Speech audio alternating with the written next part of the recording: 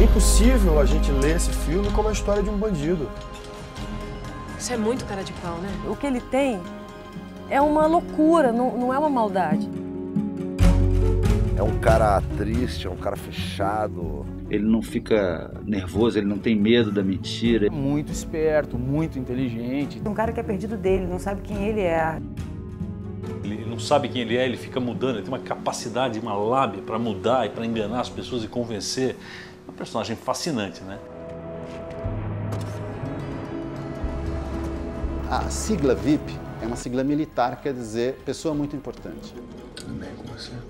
Tem esse Szinho à mão, né? esse VIPS, é uma forma minha de dizer que ele foi importante aonde ele atuou.